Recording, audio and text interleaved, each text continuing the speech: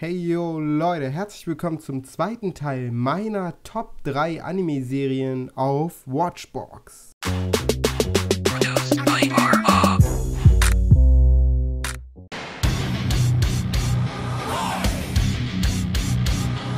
Seid ihr große Highschool DxD-Fans?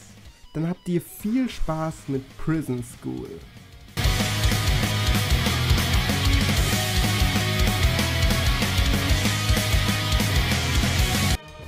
Jetzt, mit Verlaub! Könntet ihr euch etwas mehr konzentrieren?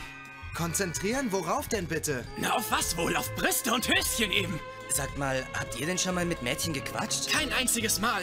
Ja, ich auch noch nicht. Ich auch nicht. Das heißt, keiner von uns hat irgendwelche Erfahrungen. Bis jetzt war Hashimitsu immer eine reine Mädchenschule, aber seit diesem Jahr sind auch Jungs zugelassen. Angeblich hat die neue Schulleitung diese Regeln eingeführt. Gut. Dann mal los. Ich rede jetzt mit einem Mädchen. Wollt ihr mal wieder Kind sein? Dann ist Chin-Chan perfekt für Nostalgiegefühle. He's a kid with an attitude.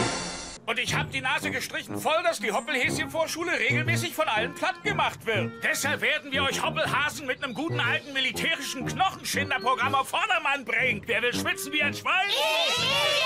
Don Corleone? Du sollst mich nicht Don Corleone nennen. Ich protestiere. Das ist grausamste Kindesmisshandlung. Wenn Sie wollen, dass wir schwitzen, warum stecken Sie uns dann nicht in eine hocherhitzte Sauna? Dann könnten wir unsere ausgetrockneten kleinen Kehlen anschließend mit einem eiskalten Kakao-Mokka-Frappuccino abkühlen. Oh, oh, hab zu schnell getrunken, Gehirnvereisung. Hä? Hä?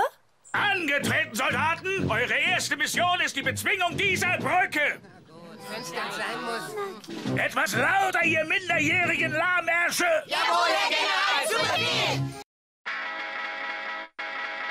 Ganz ist die perfekte Serie für die Verrückten unter euch.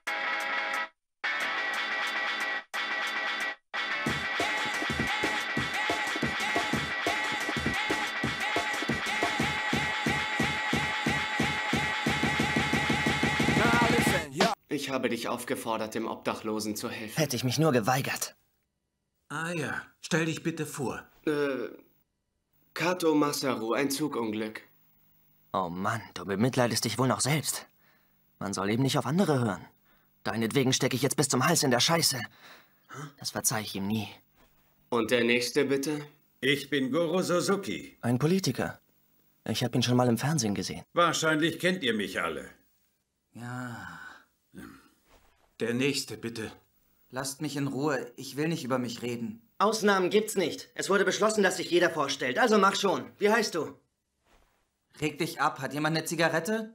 Hey, der sieht ja aus wie eine Frau. Joichi Nishi, zweite Klasse Mittelschule. Tod durch Sturz. Der Typ ist wohl schlecht gelaunt. Ich kann's nicht ausstehen, wenn man mich so anglotzt. Na los, Bleichgesicht. Schieb meine Kippe rüber.